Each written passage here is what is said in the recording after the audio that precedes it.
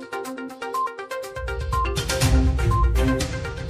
इद्दत case में इमरान खान और बुशरा बीबी बरी सजा के खिलाफ अपील मंजूर होने, district and session court Islamabad ने इद्दत के दौरान निकाह केस में इमरान खान और बुशरा बीबी की सजा के खिलाफ अपीलें मंजूर करके उन्हें बाइज्जत तौर पर बरी कर दिया। अदालत ने बानी और बुशरा बीबी को रिहा करने का हुक्म देते हुए खबर मानिका की दोनों दरख्वास्तें मुस्तरद कर दी। एडिशनल डिस्ट्रिक्ट एंड सेशन जज मोहम्मद अफजल मचोका ने बानी पीटीआई और बुशरा बीबी के खिलाफ दौरान इद्दत निकाह केस में सजा के खिलाफ मरकजी अपीलों आरोप समाप्त की।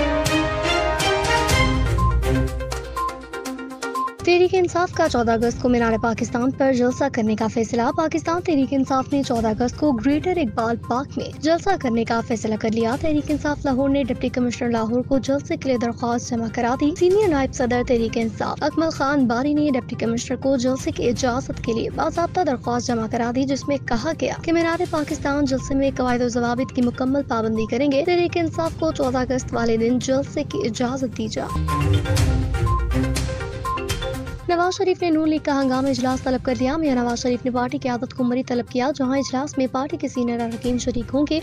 मुस्लिम लीग नून की कानूनी टीम सुप्रीम कोर्ट के फैसले पर पार्टी अरकान को ब्रीफिंग देगी। नफरत अंगेज बयान पर साहिल अदीम के खिलाफ मुकदमा दर्ज। मजहबी स्कॉलर साहिल अदीम के खिलाफ सिंध के दारकूमत कराची में सिंधियों के खिलाफ नफरत अंगेज ज़ुबान इस्तेमाल करने पर मुकदमा दर्ज करके तफ्तीश शुरू कर दी गई। साहिल अदीम की पुरानी वीडियो को चर्चा कबल सोशल मीडिया पर वायरल हुई थी, जिसमें उन्हें सिंधी कौम के खिलाफ नफरत अंगेज और नामनासिब बातें करते सुना गया। सोशल मीडिया पर वायरल वीडियो कम से कम डेढ़ साल पुरानी थी, जिसमें साहिल नदीम ने वजबा हिंद और गजबा सिंध पर बात करते हुए सिंधियों के खिलाफ नामनासिब बातें की। Thank you.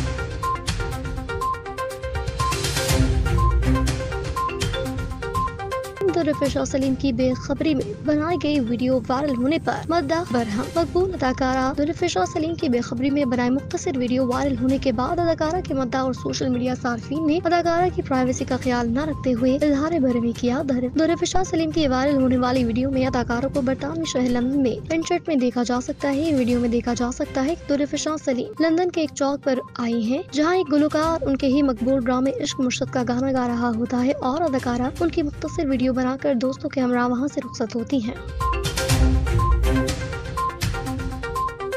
पंजाब हुकूमत का योम आज़ादी से मुफ़्त सोलर पैनल्स की तकसीम शुरू करने का ऐलान। वजी अला पंजाब मरीम नवाज़ के ऐलान के मुताबिक 200 यूनिट तक बिजली इस्तेमाल करने वाले अवाम 14 अगस्त से मुफ़्त सोलर पैनल हासिल कर सकेंगे जबकि 200 से ज़्यादा और 500 यूनिट तक इस्तेमाल करने वाले अवाम को सोलर पैनल सिर्फ़ 10 फ़ीसद मुआवजे की अदायगी पर मिलेंगे, जिसकी नब्बे फ़ीसद रकम पंजाब हुकूमत अदा करेगी और बिलासूद अदायगी पाँच साल में होगी। एफ़ आई ए ने सनम जावेद को गुजरावाला सेंट्रल जेल से गिरफ़्तार कर लिया। इस्लामाबाद एफ़ आई ए ने सनम जावेद को गुजरावाला की सेंट्रल जेल से गिरफ़्तार करके इस्लामाबाद मुंतकिल कर दिया। सनम जावेद को पैका एक्ट के मुख्तलि मुकदमा में गिरफ़्तार किया गया गुजरारो लाहौर हाईकोर्ट ने पाकिस्तान तहरीक इंसाफ की कारकुन सनम जावेद को जेल ऐसी फौरी रिहा करने का हुक्म दिया था। भारतीय क्रिकेट बोर्ड ने चैंपियंस ट्रॉफी के लिए टीम के पाकिस्तान न आने की खबरों की तरदीद कर दी। नायब सदर, बीसीसीआई राजीव शुक्ला ने न्यूट्रल वेन्यू के अफवाहों से लातालुकी का इजहार करते हुए कहा, हमें नहीं पता ये खबरें कहाँ से आए उन्होंने कहा, बीसीसीआई ने चैंपियंस ट्रॉफी से मुतालिक बाजाबता तौर पर अभी कोई बयान नहीं दिया।